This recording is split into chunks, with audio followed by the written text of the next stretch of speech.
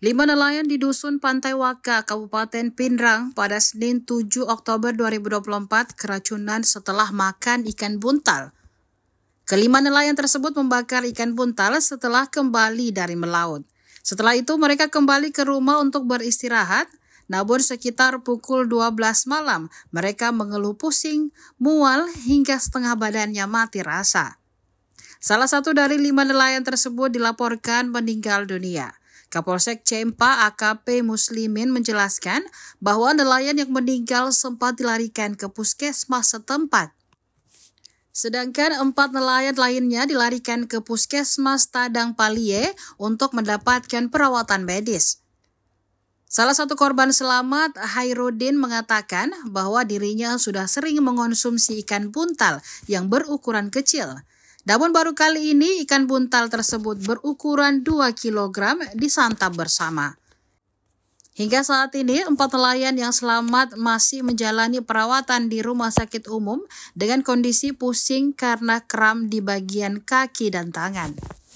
Hmm? Eh, sana itu jam sembilan lah. Hmm. Jam sembilan. Jam sembilan. Hmm. Jadi apa menjalan di ini saya ingin ada itu kita sampai jam sepuluh hmm. eh, jam sebelas begitu hmm. eh, pas mau tidur mau tidur sempoyong kan hmm. hmm. langsung keluar dari rumah.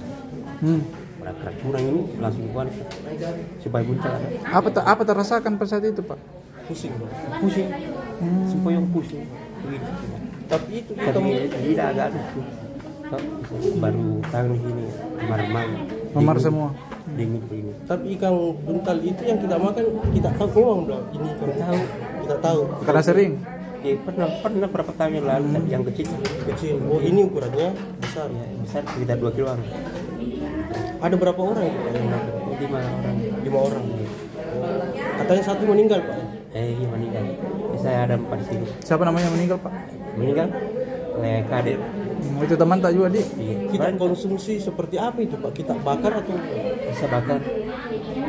Sebenarnya saya enam orang yang makan dengan ini. Cuma sedikit saja disicipi hmm. dikit anu juga dia kena juga. Kena juga dia download Tribun X sekarang. Menghadirkan lokal menjadi Indonesia